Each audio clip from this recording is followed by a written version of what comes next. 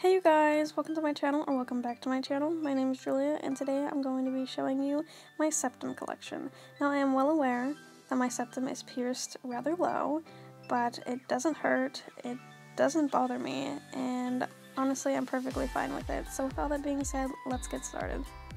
So this is the original horseshoe that they put in my nose when I got it pierced for the very first time, and it is massive.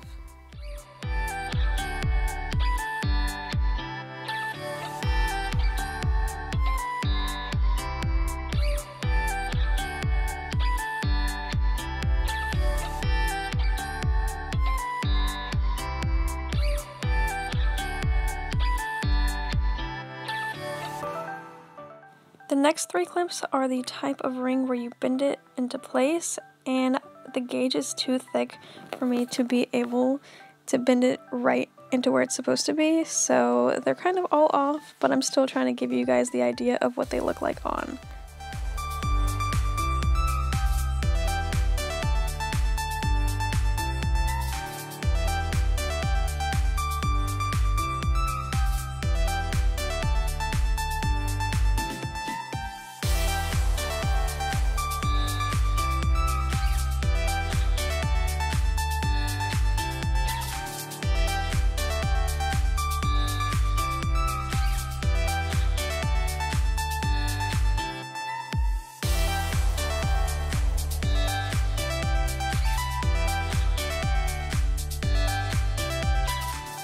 Didn't put the captive ring in because I have personally never been able to, but I'm trying to show you guys what it looks like.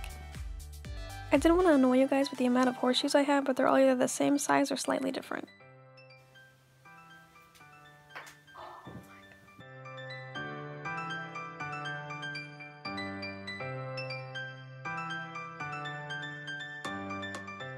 Thank you guys so much for watching. I will try my best to link all the jewelry down below. And don't forget to like and subscribe. And all my social media links are down below. Bye, you guys.